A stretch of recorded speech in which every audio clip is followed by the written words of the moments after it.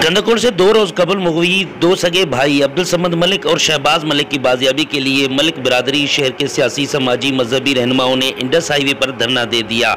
मुसलसल दो घंटे तक ट्रैफ़िक जाम रहा। मुजाहरीन ने मुगवियों की बाजियाबी का मुतालबा किया। जैसा कि आप लोग सब जानते हैं कि हमारे डिस्ट्रिक्ट में तीस लोगों से ज़्यादा लोग अगवा हैं। और दिन दिहाड़े उन लोगों को अगवा किया है। मुख्तलिफ़ कबीलों से वो उन लोगों का ताल्लुक है। मजलूम है, जो उसमें बच्चे भी, जो मुगी लोग हैं, उनमें बच्चे भी शामिल हैं। उसमें कुछ औरतें भी हैं और बुज़ुर्ग भी उसमें शामिल हैं। और कच्चे में जाकर उनको, उनका तजलील का निशाना बनाते हैं, उनकी वीडियो वायरल करते हैं, मुख्तलिफ़ तरीक़ों से उनको हिरासान करते हैं। उसमें मुसलमान भी हैं गैर मुस्लिम भी हैं।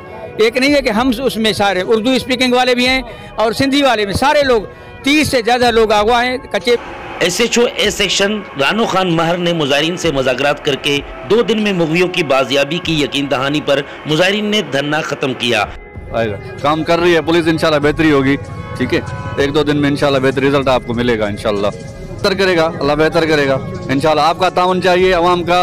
इंशाल्लाह हम काम करेंगे इंशाल्लाह काम होगा भी सही। वाजे रहे कि कंदकोट से एक माह के दौरान अगवा होने वालों की तादाद 22 तक पहुँच गई।